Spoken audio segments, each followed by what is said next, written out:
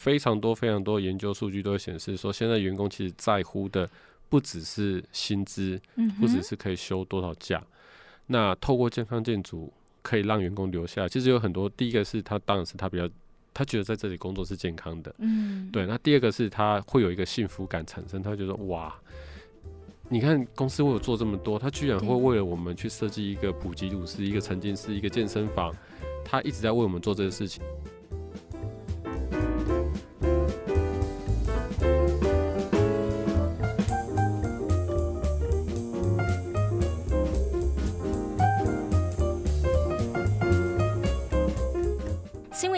帮您画新闻的重点。Hello，大家好，我是 Nancy。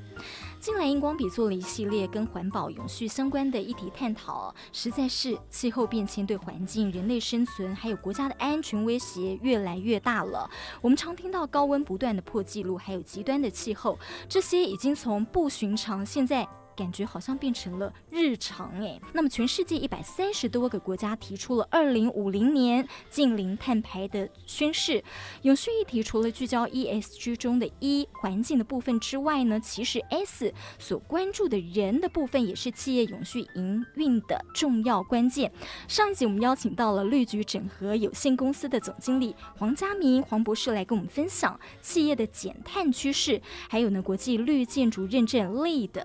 那么这这集呢，我们要聊聊因应人的健康还有幸福感而生的健康建筑认证如何产生影响力与绿色人才的需求趋势。Hello，博士。Hello，大家好。博士，我们知道呢，呃，红海总部虎药厂在去年呢获得了国际健康建筑 Fitwell 的认证，那么是全球最高分哦。是的。那这个部分也是你们协助的，对不对？是的，是的。对，呃，这个是蛮特别的一个一个专案哦，因为它跟我们上一集讲到的红国大楼有点类似的地方，也是一个三十几年的楼。对，那我们那时候其实有思考过几个方向啊，就是因为大家会觉得说在科技厂上班的压力很大，对，那尤其像红海又是一个龙头的一个企业，那肯定里面的压力就特别的大。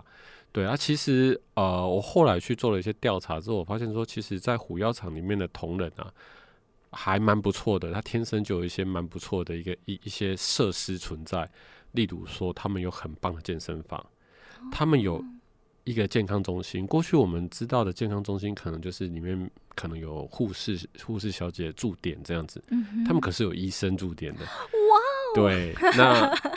甚至像啊，他们在虎药厂里面还有食品实验室。这个食品实验室要干嘛呢？就是要去检测员工中午吃的东西到底健不健康、安不安全。所以其实我觉得企业本身已经对于啊员工的照顾已经设下非常多、非常多的一些一些一些保障了。嗯。那这次我们进场，因为我觉得它先天性已经有有一些很不错的条件了。那我们进去其实。有帮他辅助去确认一些可能比较偏软体面的东西。对我举个例子来讲好了，就像爬楼梯这件事情，因为虎药厂它不是一个很高的楼梯。对，那我们在呃不是很高的楼，所以爬楼梯上下楼是是可行的。对，那我们在健康建筑里面哦，会把楼梯视成是一个与生俱来的健身器材。嗯哼，你什么房子都必须要楼梯啊。嗯哼，对，所以如果楼梯变得有趣，那其实你会多鼓励同仁去爬楼梯。可以插个话吗？请说。原来你们设计绿建筑或者健康建筑这些哦，是很有创意的。对呀，我怎么会想到说啊，楼梯它是健身器材啊？对，其实啊，因为这这标准呢是从美国来的。我先介绍一下这个标准。好的，这个标准 Fitwell 这套系统啊，它其实是美国疾病管制局 CDC。疾疾病管制局的名字是疾病与预防与与与什么什么什么什么中心，它后面有出现一个预防，意思就是说我不是等大家生病我再来管制，我是要做预防。所以他其实很早期就做很多研究，他发现建筑物有很多东西会默默影响着你。对，里里面最经典的一个例子就是说，他们曾经做一个实验啊，他说：“哎，我我有一张照片是一个。”赛跑选手冲过终点的那个画面，那是很激励人心的一个画面。然后他就说：“好，我分两批人去做募款，有一批人他的募款单上面有那个照片，一批没有。然后他们去募款之后回来去看那个募款金额，有照片的金额比较高，然后他们再请他去找回来那个募款的人，他说：“哎，你记不记得那个募款单上面有什么？”嗯，其实他们不忘记上面有什么。嗯也就是说，他当他看到那个比较激励性的、比较正面的东西的时候，他其实体整个精神是朝正面的方向。他他那个募款精神，他敢写的比较高一点。嗯嗯，对，这是一个有趣的实验。意意思就是环境中其实很多东西开始在影响你。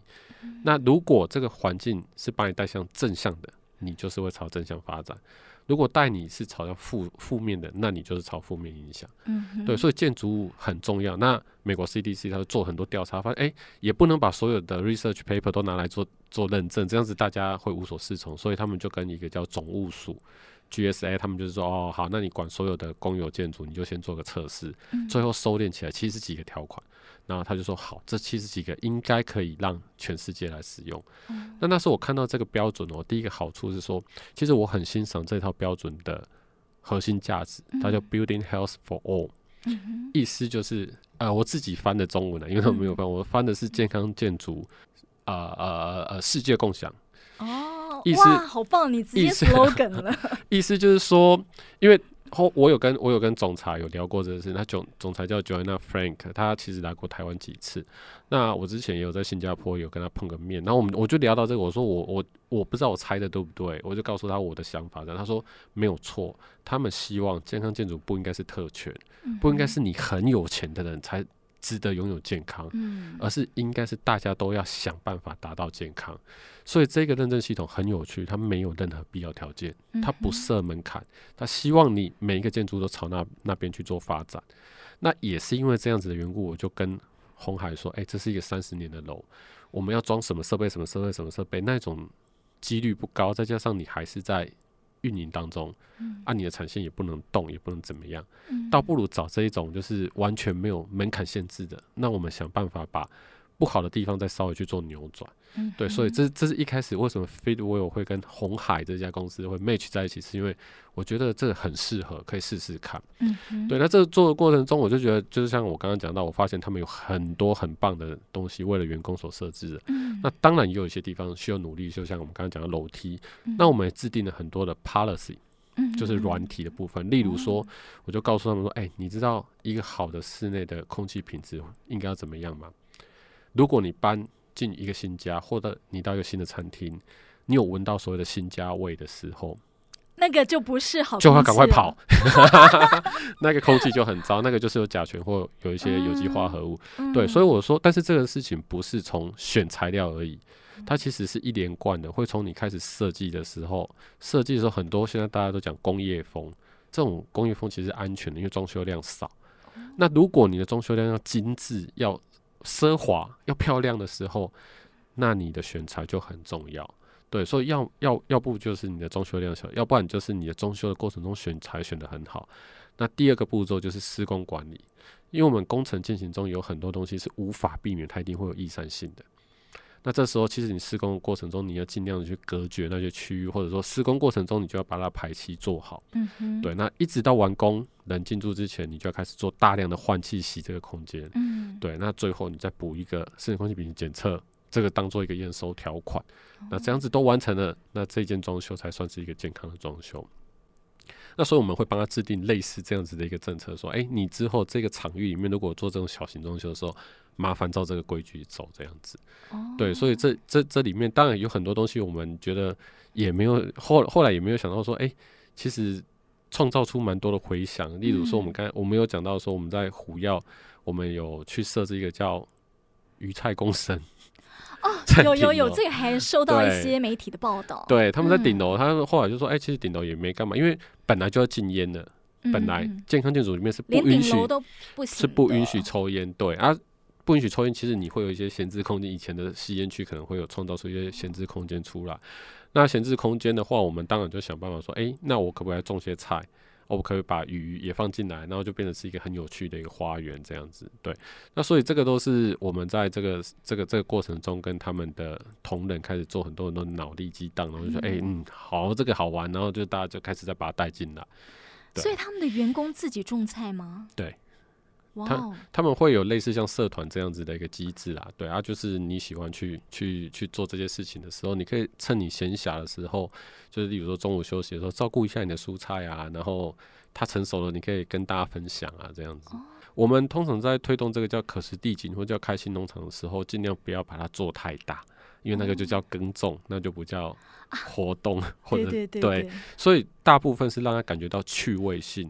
那这个动作会带领带领出大家思考一个叫健康饮食的概念。嗯，有可能他过去都吃炸鸡，那他忽然觉得，哎，这个嗯好玩哦，那所以他增加吃蔬菜水果的机会。哦，那也有一种可能就是说，你有没有试过自己种草莓？怎么种都不比外面漂亮好 吃，对，所以这过程中大家会思考到食安的问题。为什么我们都种不漂亮？因为我们的肥料、我们的农药都没有下很多，但是那才是原本草莓该有的样子。对，所以这过程中其实这个可食地景它可以创造出很多跟健康的连接出来。嗯。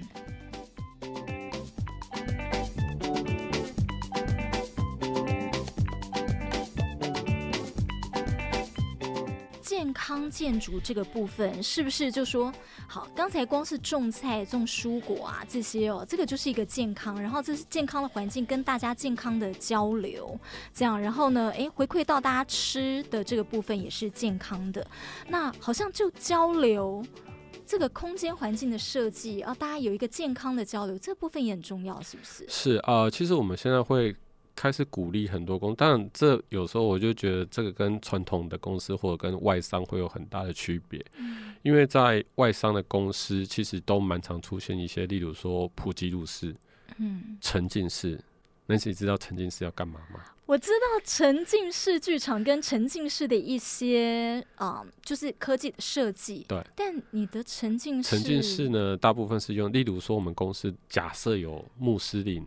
他可能想要祈祷的时候，他可以自己安静的在那个房间祈祷；又或者是刚被老板骂完，很想哭的时候，可以在里面痛哭一场，但哭完出来心情就变好了之类的。所以沉浸式是让你心情回复的一个空间。这个空间不需要什么，它就是一个隔音要好一点、舒服的一个沙发、躺椅，然后里面放一些盆栽啊，让大家可以比较比较舒适、比较比较轻松的在里面。休息片刻的一个地方，我马上转换了另外一个舒压空间了。对，对，然后还有一种东西，就是这个跟绿卷组会有点连接性，叫做啊弹性使用的空间。我们现在因为大家现在平数其实都不大，土地很贵，所以你在租赁的时候，我们常常说啊，其实像传统很多公司喜欢把会议室隔了很多间，嗯，那我们就说，那你会议室可以用活动隔间，再加上活动家具。嗯，所以，所以其实同仁，如果我们可以带一些活动啊，例如说很简单的拉伸，每个人都坐在办公室那么久，其实他需要大家需要一些很简单的拉伸动作，可能可以上一些瑜伽，可能像可以像一些讲讲座，甚至我楼上的水果摘下的时候，可以跟大家做一个试吃。那这时候我们都需要不一样的场，不一样大小的这个空间。那这种空间其实我们可以透过会议室的这种活动设计的方式去把它做出来。对，所以。的确有没有错？就是我们必须设计出场域出来，然后必须让这个环境是出现呃可以吸引他们，可以告诉他们一些正确讯息的的地方啊。来上班就是哦，我不是只有压力跟工作来上班，哇，原来变得这么好玩。对，而且呢，我的空间是一个同样的空间，但我可以再利用或做很多的变化。没错。好，回过头来啊，刚才您讲到就说，哦，原来爬楼梯那个楼梯，我们是可以当做健身器材的。是的。所以红海的员工很多都爬楼梯嘛。对，因为其实他们本来就对节能这件事情有有一些措施啊，所以他们本来就很鼓励同仁爬楼梯的。啊，只是说后面又多了一些，例如说你可以有很多种设计方法，像在红海里面楼梯，我们会在楼梯间啊张贴一个很很胖的肚子。跟一个很苗条的身材，然后就告诉你说，你搭电梯就是会变很胖的肚子，走楼梯就变得很苗条的身材之类的。对，就是会变一些趣味性的。那像我们有在其他的案子有设计，是台阶上面我可以贴上卡路里，就让你知道说啊，我怎么爬怎么爬，哦，我我今天减了多少卡路里之类的。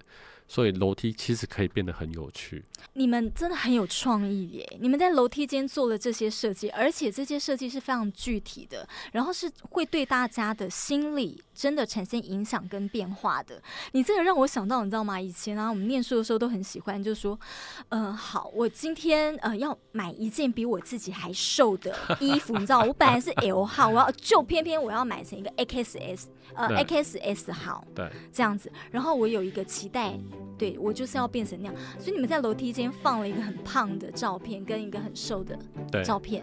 对，好，嗯，我相信这多多少少啦，应该对有些人会有一些些的影响。是。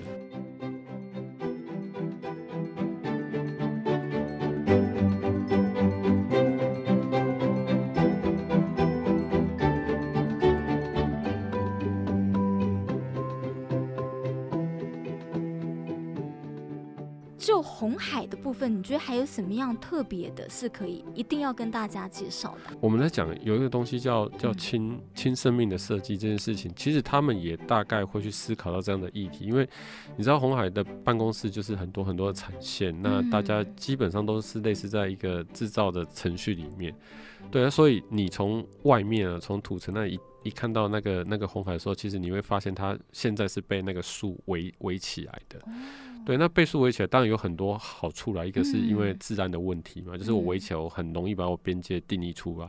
那另外一个就是说，其实我们在很多的设计里面会希望把自然的元素带到我们的室内来。嗯，那为什么要做这个事情呢？因为这这是有理论的，就是呃，在很久很久以前，有一个科学家发现说，哦，人人原本有一种本性，他喜欢去接触不一样的生命体。嗯，例如说，我们带小孩去。公园的时候，嗯，因为小孩是最最接近人原始的本性嘛，他喜欢去喂鱼，他喜欢去喂鸽子，嗯这就是人喜欢接触大自然的这个原因。对，那所以呢，这个这个学说其实会被套用在很多地方，例如说，我们听过一个叫疗愈园艺。哦，对，对，就是你心心理上面有一些压力的问题的时候，其实你透过园艺的这个动作，你可以得到舒压，这都是证，都这都是有一些证据的。那在 COVID-19 发生的时候，其实美国的医院他也发现说，哎，我隔离病房里面的病人心情很浮动，因为。初期大家不知道怎么办啊，所以大家大家会不知道未来会会怎么样。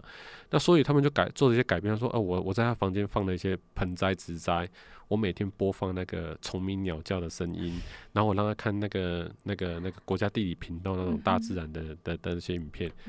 他们发现这样子在这样空间隔离的病病人很快痊愈就可以离开。对，所以这个就是我们接近自然元素的时候，它其实在影响你，而且是。带你到正向的方向去，所以我们在很多的场域，我们开始试着说：，哎，我把很多自然的东西放到这个空间来。对，不只是园艺，你有可能放鱼缸，你有可能放画，你有可能放木纹的东西、石头的东西，其实都可以，就是让人尽可能去接触到园艺。对啊，所以我们在有时候在在设计的时候，我们会开始去思考说：，哎，那我那些植栽到底怎么放，让大家视野可以看得到这样子。对啊，那红红海其实还有一个地方蛮有趣的啦。它我们刚进去那个虎药厂的大厅的时候，你就看到很多很多绿色的植栽，那些都是租赁的。他连循环经济这件事情都想到，他是用租的，他是用租的。他就是说，所有的植物他基本上都跟园艺公司签约合作。对，那就是当然要定期推他们去晒太阳之类的，但是就基本上就是他们不要说啊花器啊什么东西会变成是废弃物，所以他们是保持一个循环经济的一个一个想法。哦，哇，这个蛮特别的。对，嗯，轻生命设计这个东西，所以它也站在健康建筑这一环嘛。是的。怪不得哦，所以呃，要把自然的元素带到一些空间，或者甚至带到建筑物里头这样子。对，我就从你们的网站看到哦，国内外其实也有很多这样子哇，看到很特别的一些像消防局，很特别，跟我们呃平常刻板印象的那个消防局不一样的空间设计，这等等的。是，嗯，好，所以呢。这么棒的一个呃为员工考量的空间，然后呃甚至呢就是对他们的心理、对他们的生理都是健康的，员工就不会想离开了吧？其实是是是这样，没错啦。就是说，呃，有非常多非常多研究数据都会显示说，现在员工其实在乎的不只是薪资，不只是可以休多少假。那透过健康建筑可以让员工留下来，其实有很多。第一个是他当然是他比较，他觉得在这里工作是健康的，嗯，对。那第二个是他会有一个幸福感产生，他觉得哇，你看公司为我做这么多，他居然会为了我们去设计一个普及鲁斯、一个沉浸式、一个健身房。他一直在为我们做这些事情。那还有一些东西叫可视化，就是很多数据我们会揭露出来。例如说，我们会请公司去做空气品质检测。那甚至像我们的另外一个客户 Lenovo 电脑公司，他们每个办公室其实都有那个即时监测系统。嗯，所以他同仁每天都可以知道我现在的空气品质状态是什么。嗯，对，所以透过这些数据，其实大家会感觉到，哦，原来公司对我们的照顾是这样。那再加上，其实在这个过程中，我们可以开始跟客户沟通，有一些支持的动作出来。例如说，当然这要看公司规定啊，但是我们会尽量去影响他。例如说，呃，像台湾男生的陪产假就三天嘛。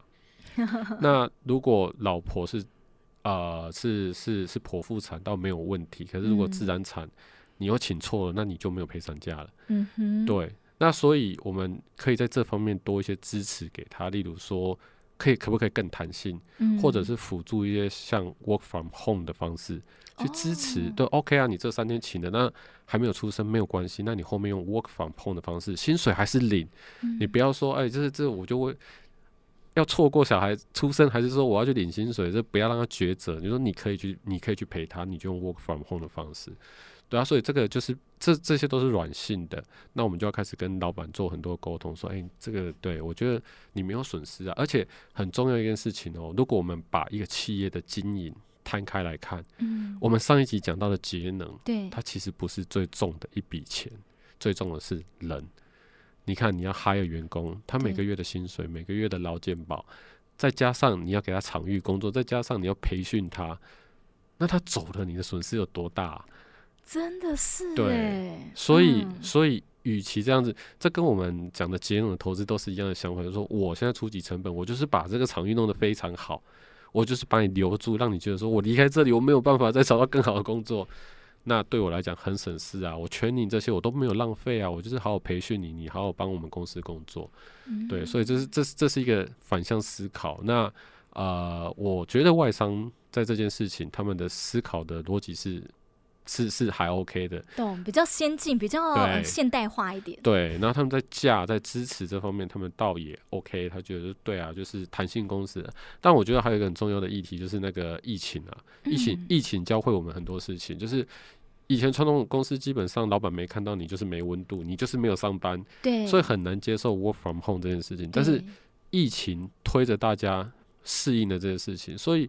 现在老板如果如果产业可以的话，因为产线你你你很难无防控吧？你产线在公司，但如果你是业务，你是 R D，你是研究的，那我觉得那个问题可能就不大。嗯，对，所以越来越多传统公司开始接受这个事情。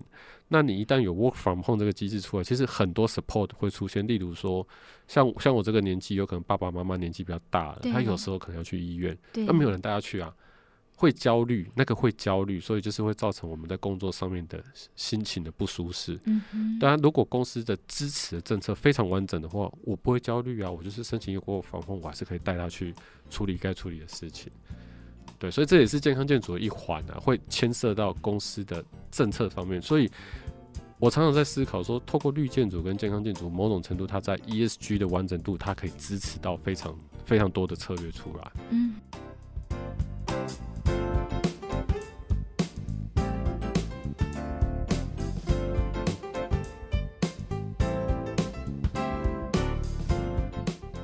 对于节能啊，对于员工的心理幸福感、健康，这些都是有很大帮帮助。Work from home，是很多的传统产业的老板，他们可能一时没有办法打开这样子的思维。是，那你们甚至在帮他们做这样的设计的时候，还要去跟他们做交流沟通。对，的确要的。我可以进一步请教吗？有没有遇过很难沟通的？呃，其实倒不是说很难沟通了，因为。我们不管在做什么事情，最核心的一个东西就是业主的期待。我们其实英文叫 owners project requirement，就是说他对这个案子的期待，因为他才是他才是主人，对，所以我们会依据这个他的期待，帮他慢慢带向绿或健康的这个角度。那每个人调的方式会不一样。例如说，我曾经遇过那个传统产业的老板，那他遇到我，他就直接给我看那个 Google Office 的照片，说：“哎，跟我设计师讲一下，我要设计这个东西。”那我就说：“ 不是这样，就是这东西就是办公室的设计跟企业文化会扣在一起。你去想想看，你连……同仁去茶水间倒水的时间，你都会注意的。那 你把一个撞球桌在那里，他会敢去撞球吗？不敢嘛。那所以那个东西之后会收掉。但是你说这样的企业能不能多一些健康的元素出来，也是可以的。所以是因人而异。像这样的企业，我们可以说 OK 啊，没有关系。同等上班就好好上班，但是我可不可以让他视野好一点？我不要把他关在像一个监狱一样的地方，我视野好一点。